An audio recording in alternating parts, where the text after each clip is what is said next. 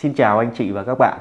À, trong tháng 6 này có một cái cao tốc ảnh hưởng rất là lớn tới giao thông cũng như là sự phát triển về bất động sản của khu vực à, Buôn Ma Thuột, Đắk Lắk sẽ được khởi công.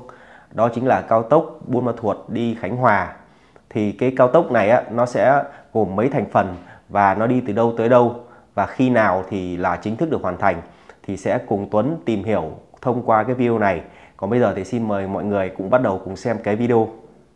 Dự án thành phần 1 thuộc dự án đầu tư xây dựng cao tốc Khánh Hòa Buôn Ma Thuột qua địa phận của tỉnh Khánh Hòa có chiều dài là 31,5 km sẽ được khởi công trong tháng 6 2023.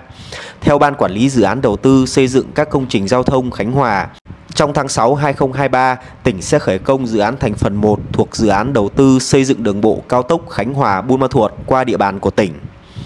Dự án thành phần 1 trên do Ủy ban Nhân dân của tỉnh Khánh Hòa làm chủ đầu tư có chiều dài khoảng 31,5 km đi qua các xã, phường thuộc thị xã Ninh Hòa. Tổng mức đầu tư dự án hơn 5.333 tỷ đồng. Dự án có điểm đầu là nút giao thông giữa quốc lộ 1A và quốc lộ 26B, điểm cuối khớp nối dự án thành phần 2 tại xã Ninh Tây, thị xã Ninh Hòa.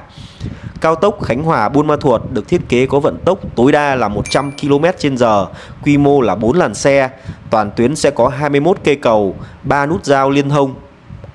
Theo như kế hoạch thì đến năm 2025, dự án sẽ cơ bản được hoàn thành một số tuyến có lưu lượng giao thông lớn, hoàn thành toàn tuyến vào năm 2026 và đưa vào khai thác toàn bộ dự án vào năm 2027.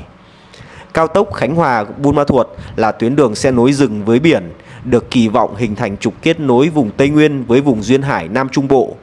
Đồng thời kết nối các trung tâm kinh tế, cảng biển, đáp ứng về nhu cầu vận tải, động lực phát triển của vùng Tây Nguyên cũng như là Duyên Hải Nam Trung Bộ.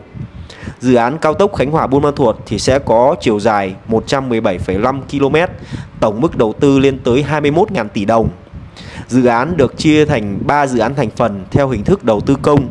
Trong đó, dự án thành phần 1 như đã chia sẻ với anh chị ở trên do cơ quan Ủy ban nhân dân của tỉnh Khánh Hòa làm chủ đầu tư có chiều dài là 31,5 km. Dự án thành phần số 2 sẽ do Bộ Giao thông Vận tải làm cơ quan chủ quản, chiều dài là gần 37 km và dự án thành phần số 3 do Ủy ban Nhân dân của tỉnh Đắk Lắk làm cơ quan chủ quản, chiều dài là hơn 48 km. Đây cũng là một cái cơ hội cho sự bứt phá của bất động sản khu vực Đắk Lắk cũng như là Nha Trang. À, thứ nhất á, thì khi mà cao tốc hình thành chắc chắn bước giá của khu vực Đắk Lắk sẽ tăng trưởng. Anh chị nhà đầu tư có thể xem xét mua vào những bất động sản tại đây trong cái thời gian này đầu tư tích lũy và đón đầu thì sẽ rất là tốt. Thứ hai thì thị trường bất động sản cũng đang bước vào cái giai đoạn điều chỉnh. Đây là cái thời điểm thích hợp để mình mua vào vì đây là thị trường của người mua, có rất là nhiều cái sự lựa chọn cho anh chị khách hàng nhà đầu tư. Tiếp theo á, thì Đắk Lắk cũng là một tỉnh sẽ được ưu đãi rất là lớn trong cái thời gian sắp tới và sẽ có nhiều cái sự đột phá về hạ tầng cũng như về các cái dự án cũng như là về nhiều những cái gói đầu tư từ nước ngoài cũng như là ở trong nước.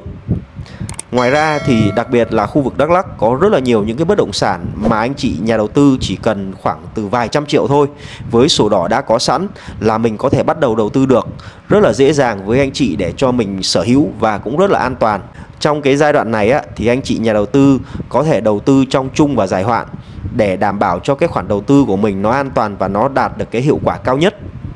thì mình cũng coi như đây là cái việc mình mua đầu tư tích lũy thì chắc chắn là cái khoản đầu tư tích lũy này sẽ là một cái tài sản rất là lớn ở trong tương lai. Nếu như mà anh chị quan tâm tới những cái bất động sản đầu tư như vậy thì có thể gọi điện theo cái số hotline ở phía trên màn hình để đón đầu sự đầu tư cho cao tốc Khánh Hòa, Buôn Ma Thuột hay là những cái bất động sản đón đầu cho sự phát triển của tỉnh Đắk Lắk.